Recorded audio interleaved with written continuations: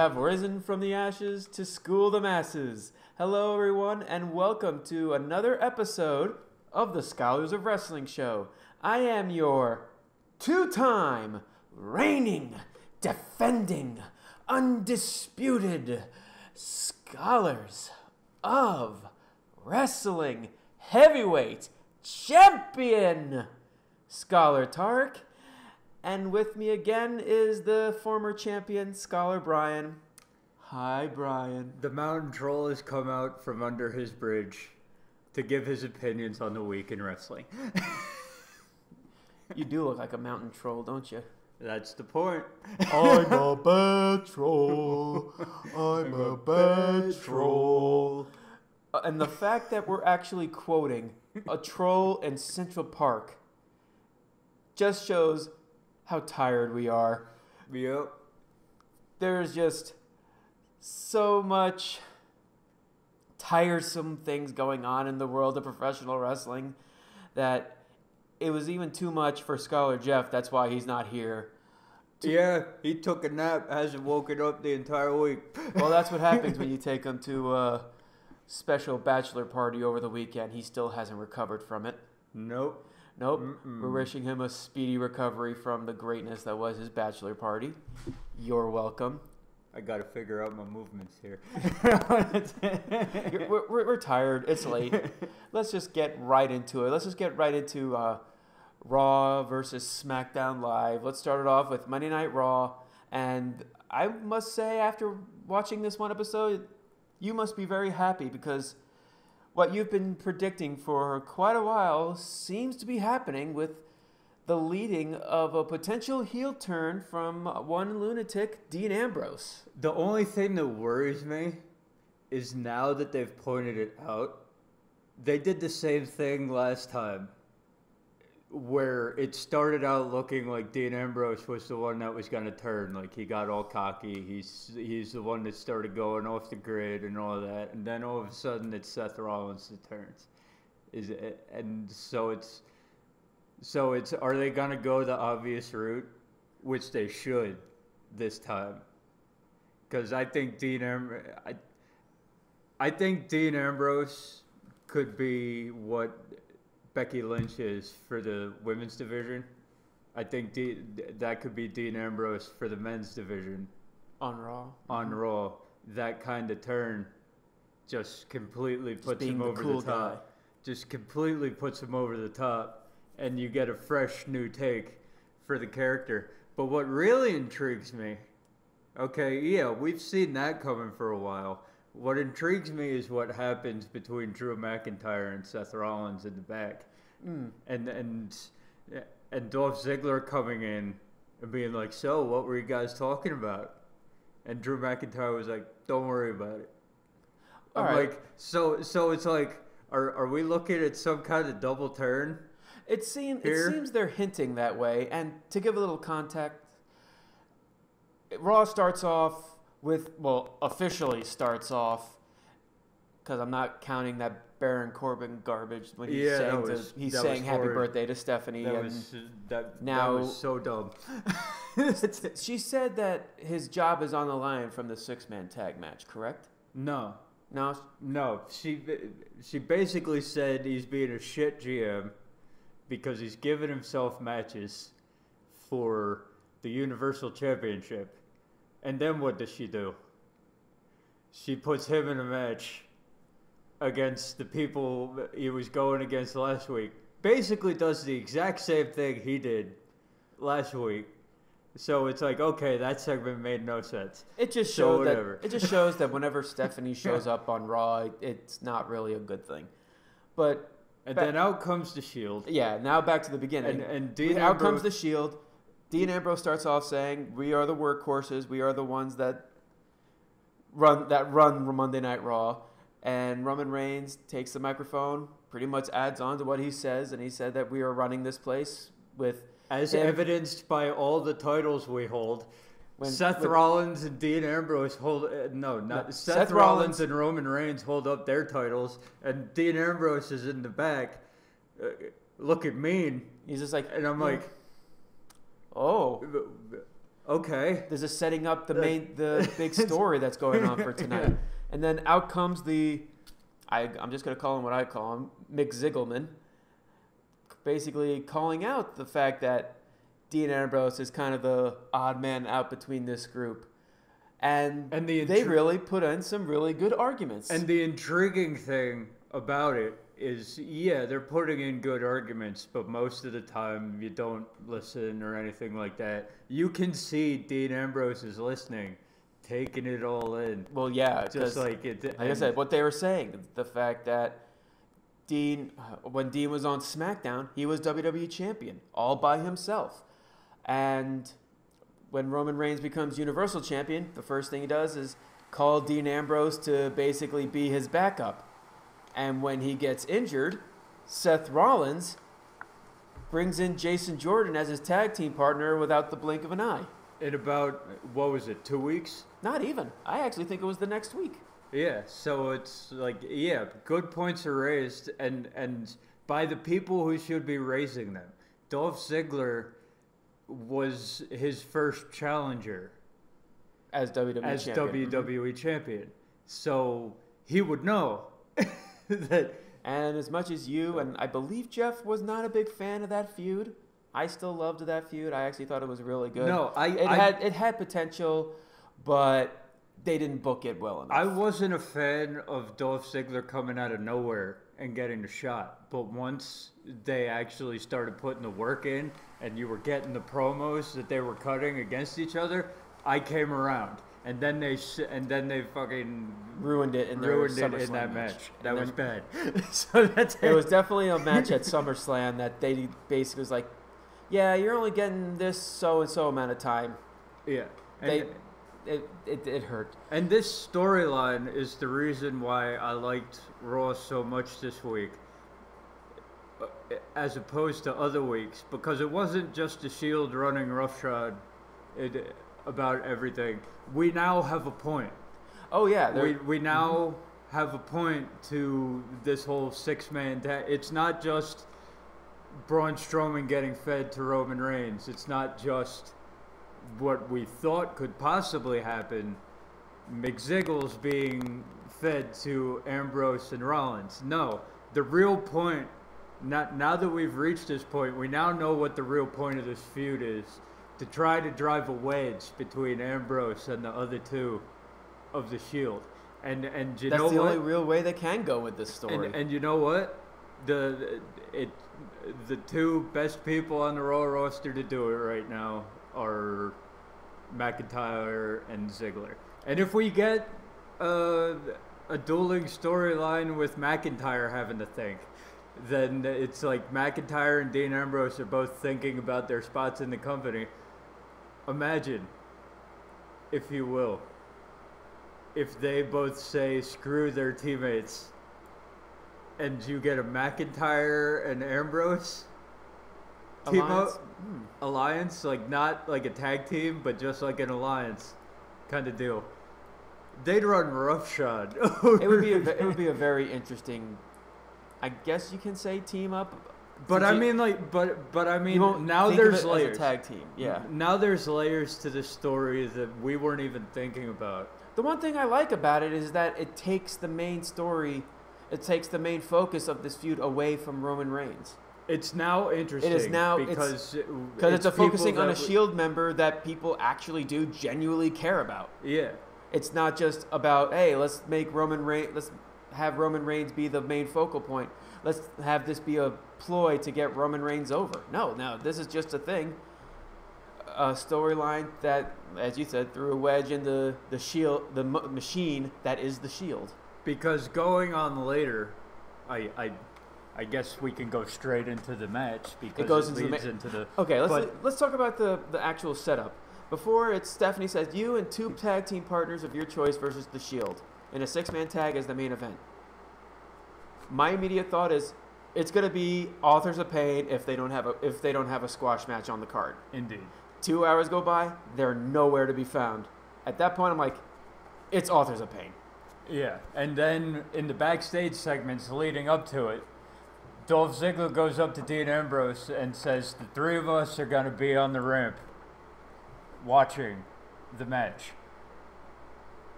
If you're down, Give, give, us a the- second. give us the signal. We'll take care of the rest. So now we get to the match. Now we get to the match. Straightforward is a ma- a Raw main event match. Nothing. Yeah. It really. It was really nothing. And and you knew, you knew that the Shield was gonna win. You oh, knew, oh, obviously. obviously. But the real intriguing point is at the end of the match because Dean Ambrose uh, first during the match, Seth Rollins is getting beaten down on the outside by uh, al- by the Authors of Pain, hmm and Dean Ambrose does nothing. I wouldn't say he did nothing. I. It was just he was showing that he could stand up to them by himself. He was take. He was doing a lot of offense.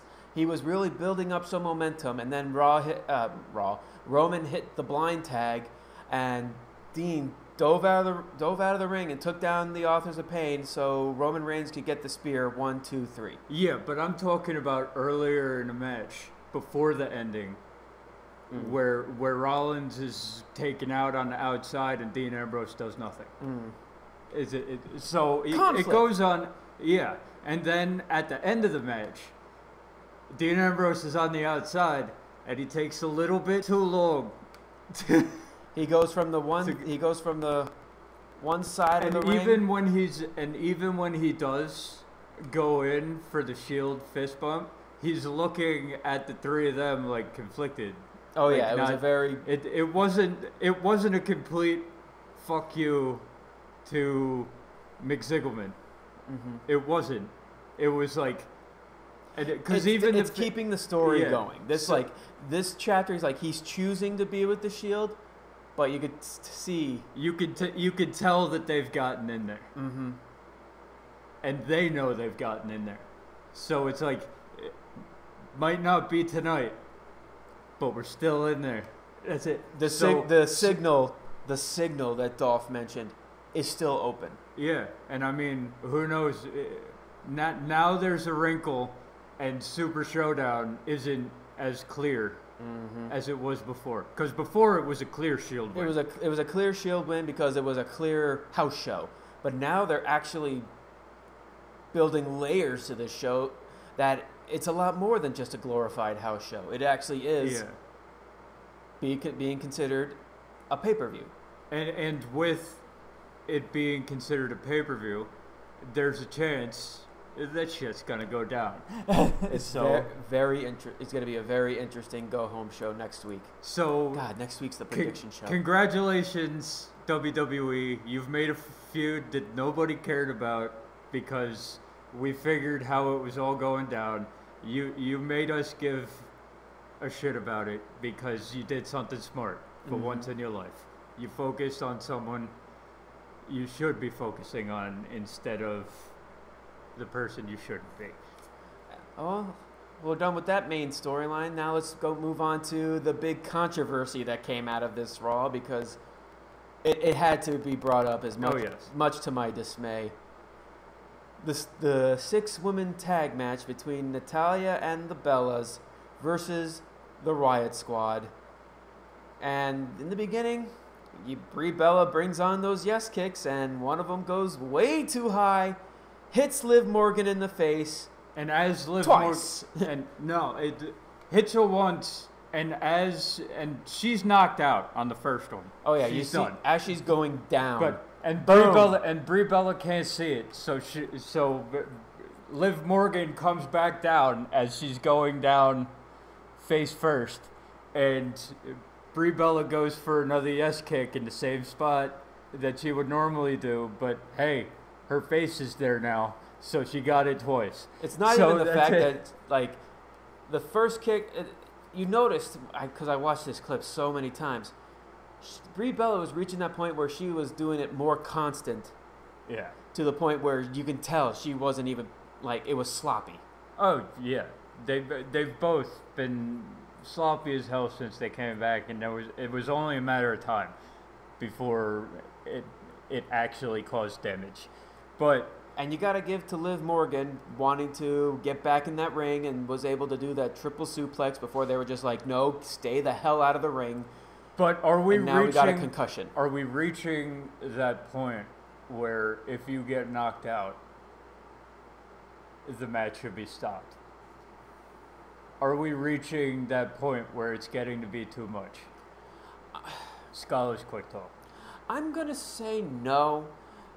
I just, I honestly felt like they should have worked their way around it a lot more. Like, perfect example would be when uh, Kevin Nash was in that multi-man tag match, and next thing you know, he blows one of his quad, and the first next first thing they do, the first thing the uh, wrestlers do, is basically tag them in and just get continue the match while he ro- while Kevin Nash rolls out of the ring.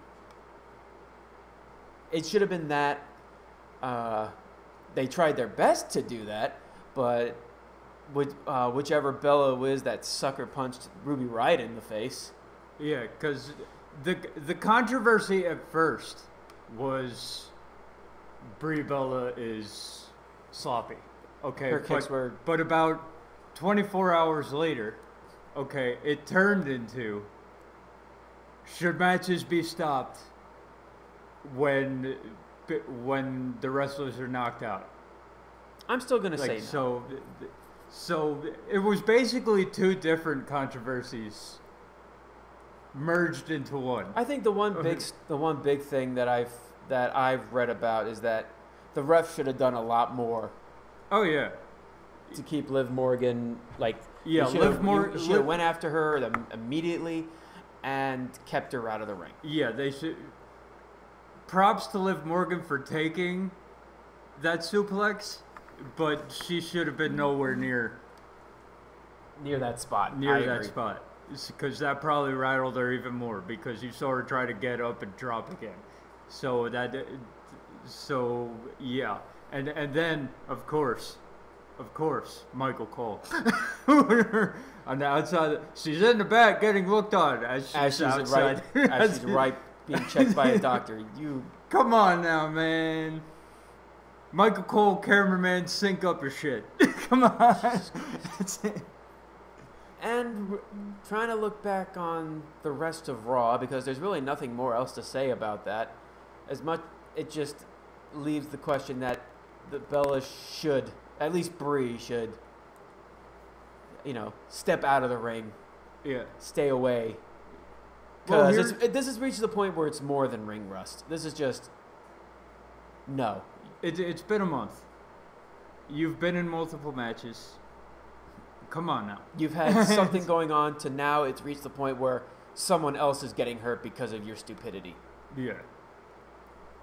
So let them have their stupid Nikki Bella women's title match against Ronda Rousey at Evolution, and then the, the Bella should disappear, go back on reality TV.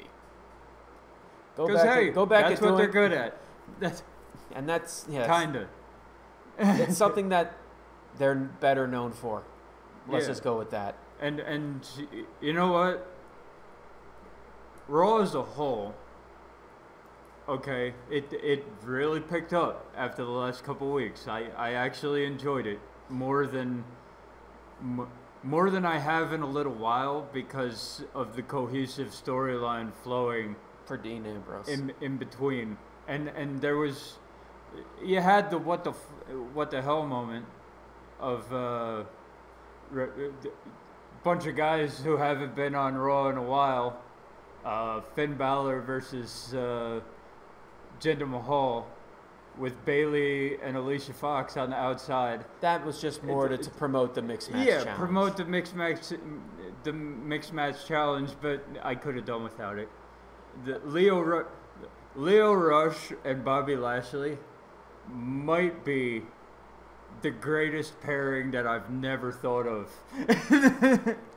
And to think, this is all just build up for Bobby Lashley and John Cena versus Elias and Kevin Owens. At Where Super we all Showdown. know what's good. You want to talk about a house house show match? That's gonna be it. It's like, yeah, let's just try and prom- let's try and uh, you know build this one this one match without the fourth contestant because he's a part timer now and And and I love I I love the Elias line. come on down, Lio Rush. I've got a high chair for you in the ring. You know, because you know, because he's short. yeah. I enjoyed that. It was, it was it was fun. Yeah. That was a fun segment, and I will and I will I will agree. and sometimes some sometimes you gotta lot if if it's entertaining you can deal with the logic gaps and the and the and the dumb reason oh he's short hey high chair And- jokes that's it and you gotta give it to uh, Ziggletier versus uh, Revival. That was That was actually really a really good. good, match. you had you had near fall you knew that the revival wasn't gonna win but the near falls actually worked Does this count as a face turn for the Revival? Because they were booked as, they were on- both as the face team in this match for it, de- it depends reasons. it, it depends on where they go with it from here because anybody is going to be a face against Mac, against Ziggletier at this point Mhm. so where do they go from here yeah the one thing that i hated i hated it so much victor gets a random clean victory over chad gable I was just a, actually it was Konnor. Konnor, yeah. Con- Konnor was- gete a clean. Yeah, I was actually should about to move te- that one up. That should tell you everything you need to know. I mixed them up. Konnor gets a clean victory over Chad Gable. You think Chad Gable's gaining some momentum? Hey, guess what? Oh God, now you lost clean to a guy who hasn't won on Raw in years. Even- years. What the hell is that even? What the hell is this even meaning for them? It's this. I like Chad Gable and Bobby Roode. Yes. They It- are a it's fun very, act. It's it's it's a it's an ins, it's an inspiring choice. Like I would have never thought of Chad Gable teaming with Bobby Roode, but th- they started doing it, and and Chad Gable being the overzealous, eh, glorious fiend that he is. Okay, it works. It's entertaining. It's fun. And, and then you do And then you do this. That's it. Well, it's only this feud. This pointless feud is going to keep going, and it's, in my opinion, starting to hurt. Gable and Roode be, being a Starting. fun, a fun little act. Starting. It is. For me, it's it's done. It's done now. It's Well- done now. Well, You lost to you lost to Konnor. You lost to Konnor. Okay? Of the Ascension. A team that hasn't won a match on Raw since the beginning of time. okay? That's it. You lost. begin. There wasn't even bullshit. You lost. Well, I'm gonna any- wait. I'm gonna wait and see what go, they do for the go home There- show. there before I, no- before there- I close the sh- before I close the door on this. There, there is no wait and see for me. The door is closed. You lost Well- to Konnor. You, no, it's I- done. Okay. that's it. There were there were a few there were a few down moments, there were a few up moments, but I will agree this definitely has been a very entertaining Raw, and now it's building on layers for the main story that is the Shield versus. I'm gonna just give it. A, I'm gonna give it them because WWE the the Hounds of Justice versus the Dogs of War. That's that's the best you're gonna get out of And, me. and you know what? If if it's based on those lines, I can deal with that name. mm-hmm. I, I can deal with that name because based on those lines, it makes sense. If, if you don't call them the Shield, you call them the Hounds of Justice. So it's like if it, the Hounds of Justice versus the Dogs of War sounds pretty fucking it sounds pretty good, right? Mm-hmm. The Shield versus the Dogs of War. How No. does that sound? Uh, no. Nah, I just would I would probably just call them Chaos, But, but that's just me. yeah, the added wrinkles to a story that was going nowhere, and you made it mean something. Mm-hmm. And we'll see where it goes from here. for the go home show exactly and that brings us to smackdown live which i'm just going to do my raw versus smackdown live this this de- this still was the better show but I'm not taking that away from raw it definitely it raw was a good show but i'm still going to stick with smackdown because the difference between raw and smackdown for me is that every storyline actually meant something for me Well, except Naomi, except Naomi and Asuka versus the Iconics. I, I don't even. That's the only count- thing. yeah. That's the only thing that took it. That is the only thing I don't care about. When you have Becky Lynch taking down Charlotte, it's like and and doing the I'm gonna stand on your shoulder and lift the t- and lift the title. Mhm. Yes. And what happens? The crowd goes nuts. the crowd goes so nuts for it. so. But that's not We're even- gonna say it. we're gonna say it But- every week. But We're- for the first time, but for the first time in the last couple weeks, that wasn't the main focus of SmackDown. No. The main focus this week Rusev was, Day. Was Rusev Day. Yes. and Rusev and Lana coming out to the ring and calling out Aiden English for the simple question, why? and Aiden English. This- promos. I I think I d- that was his coming out party. That was definitely This a great promo. promo. This whole Okay. ev- everything about this whole segment was just fantastic in my opinion, with Rusev and Lana saying, "What's up with that?" Aiden, and, and Aiden, Aiden, coming English out going out his with the first his whole his whole video packages of how I guess you could say dominant that Rusev Day was, even though really, really, not. when, really when you Really look at the not. long run, they could have done a lot more with Rusev Day, which is something we talked about Yeah. last week. And they threw in, and then Aiden throws the second video package as once Lana started showing up, they started falling apart. But as we were just saying, they didn't have any, they didn't have very much to uh, build upon for Lana to fall apart. And it all led to that final line from Aiden English. So like, "Yeah, that, that's what I that's what I love about you, Lana. You're just so honest. You were even gonna go to Rusev last week and tell him what I said. But here's the thing: Are you truly honest with him? Oh, what what do you mean, Aiden? What what are you talking? Did you tell him about what happened in, In Milwaukee? and then leaves. And then le- that that was his pipe bomb. He even like pipe bomb, boom, and the crowd is going nuts. They're just going, yes, yes, yes, Milwaukee, Milwaukee, Milwaukee. So the big the big rumor is that they're hinting the fact that a segment that The Rock had with Lana a few like a few months back, even bringing up the Wisconsin wheelbarrow as an interesting position. So they may pull the whole storyline line of Lana having an intimate uh, one night with The Rock. How do you feel about that?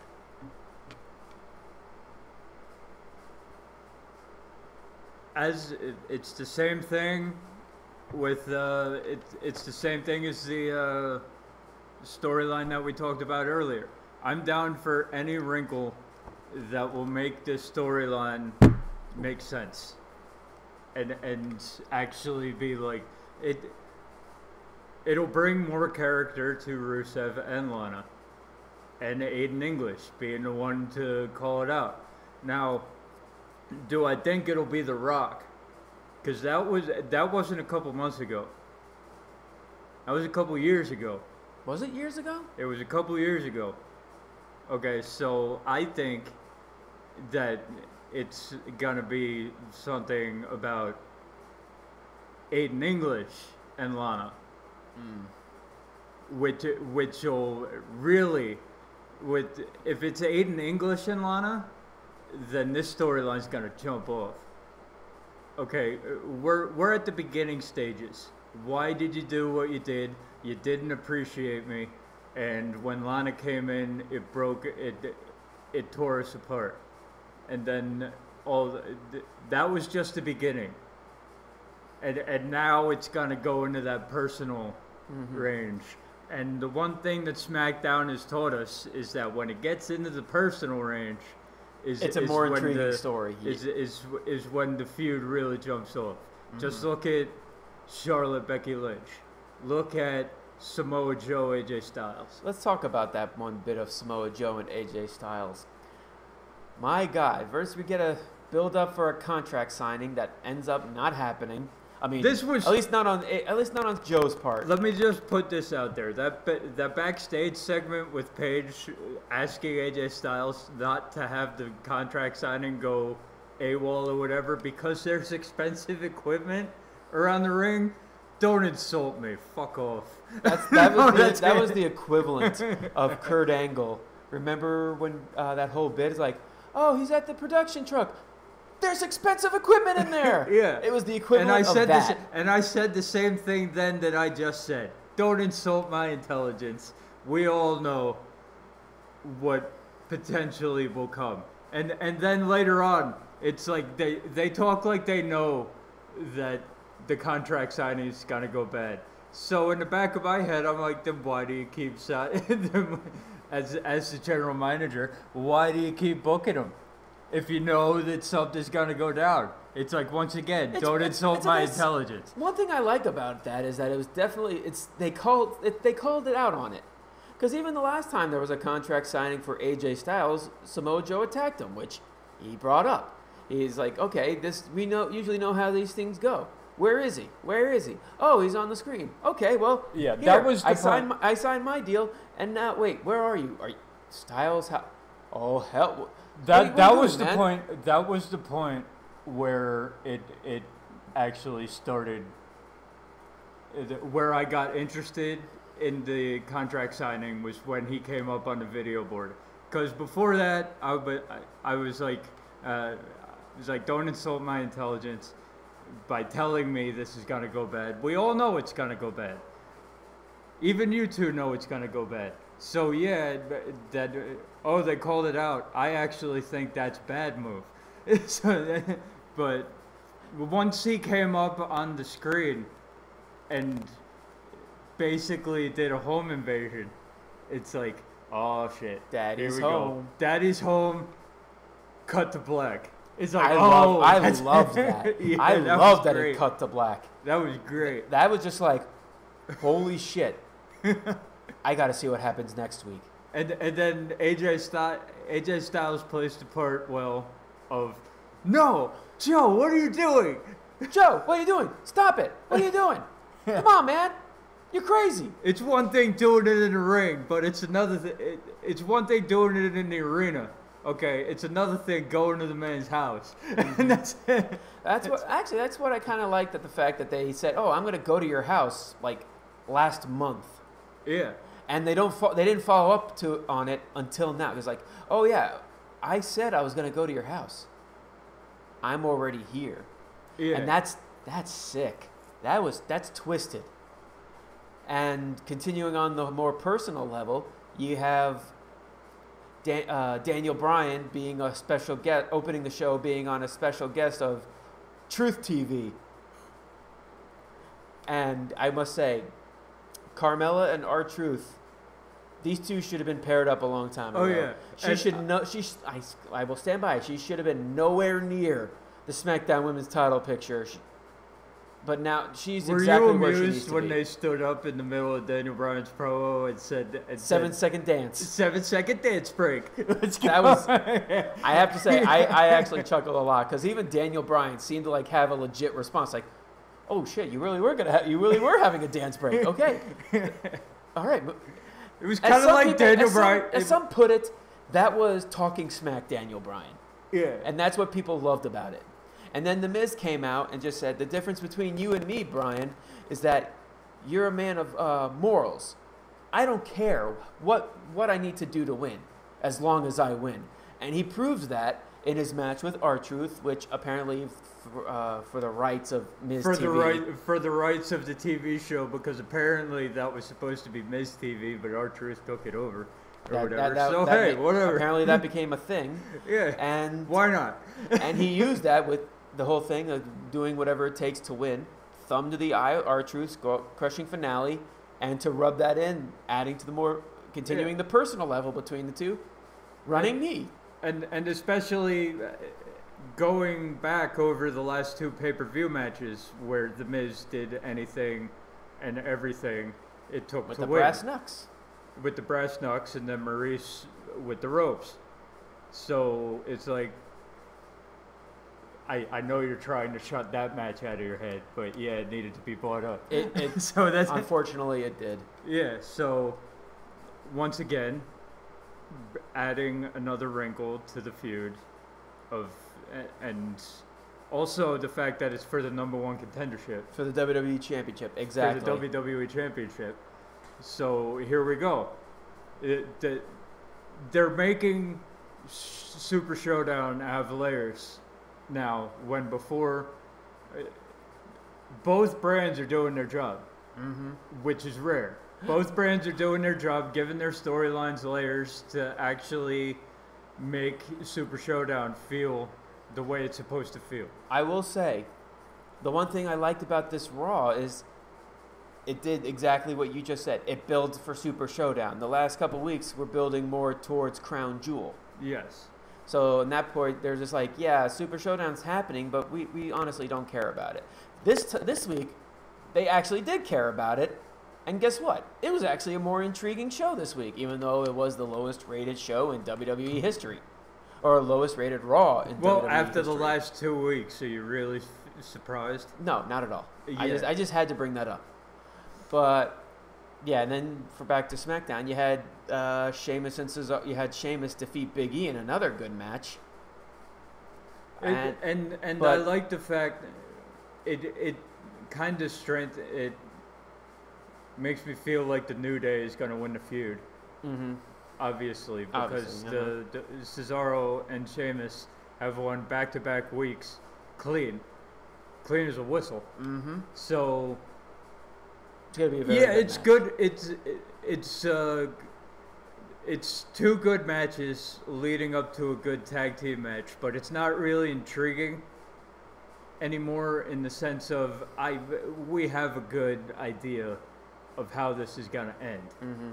In the, in the fact that Cesaro and Sheamus as singles competitors are up two nothing on this team. The New Day is obvious is The tag team. is the t- is gonna take it as the tag team. Mm-hmm. So it's not really intriguing anymore. But as long as we get the good match, As long as we get good wrestling out we of it, should- yeah. As, as But we, know should. we're going. But we know we're going to be because Yeah. they're four amazing wrestlers. exactly. And and remember when we couldn't say that about Sheamus.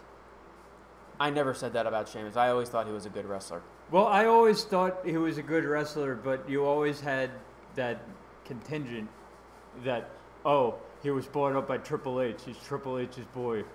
No matter uh, it's uh, and and that's the whole stigma with the people with back in the day Triple H, not the NXT Triple H.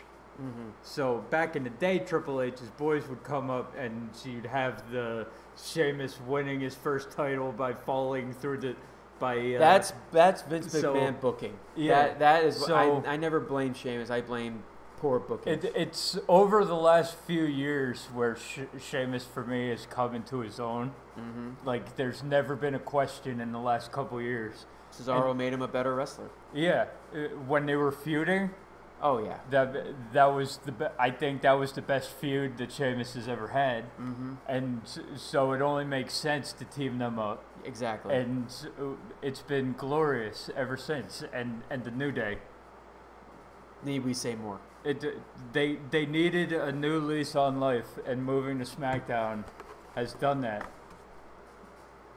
And uh, put these two teams together, and you're gonna have a good match.